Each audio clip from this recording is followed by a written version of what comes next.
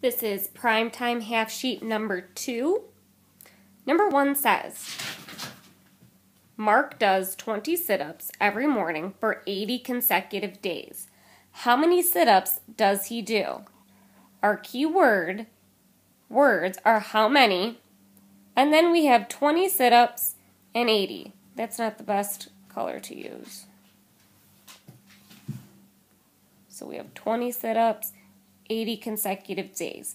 I know how many I can either add, so 20 plus 20 plus 20 plus 20 plus 20 all the way up to 80 times, or I can simply do 80 times 20, and really what I'm going to do because I have those zeros, 8 times 2 is 16, and I'm going to add the two zeros. So Mark did 1,600. There's my comma. 1,600 sit ups. Number two says the top five finishers in a race received $25 each. How much money did they give out? So, again, this one's a little tricky. Our key word is each.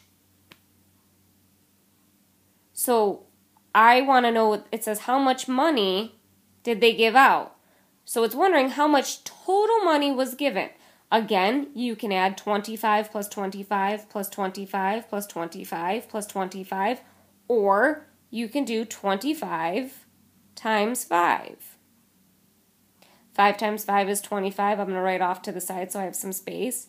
5 times 2 is 10. Plus 2 is 12. So the finishers got a total of $125.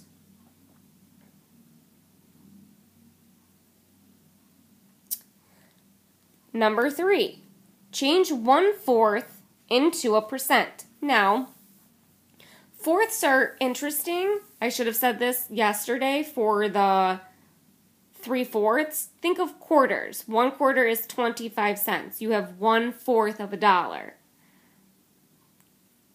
Two quarters is one half of a dollar, 50 cents, 50%, and so on.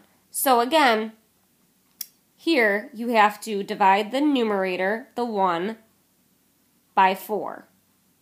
Well, you can't do that, so you add your 0. 4 goes into 10 two times. 2 times 4 is 8. Bring it down. Bring a 0 down. You have 5. So 25%. The next one, we have one third plus one half. First question we have to ask ourselves is can you add these together? No, because the denominators are not the same.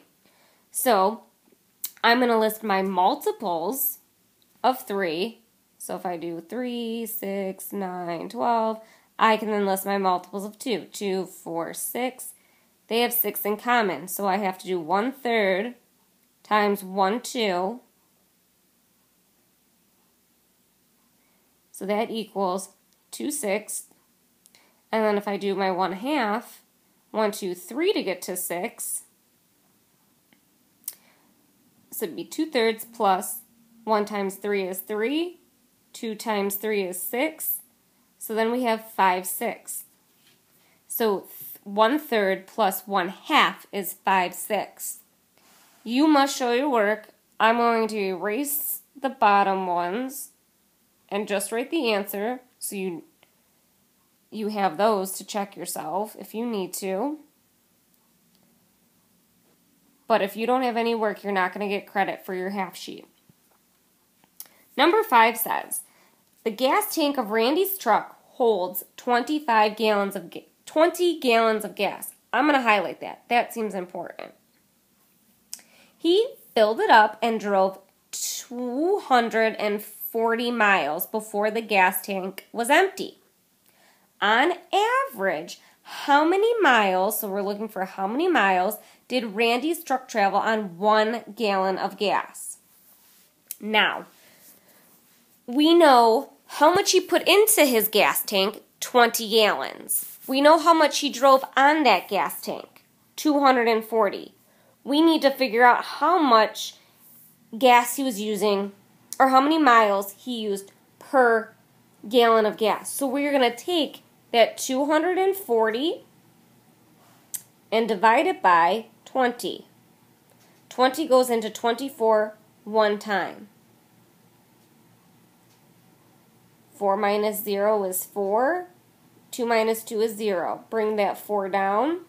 20 time 20 goes into 42 times.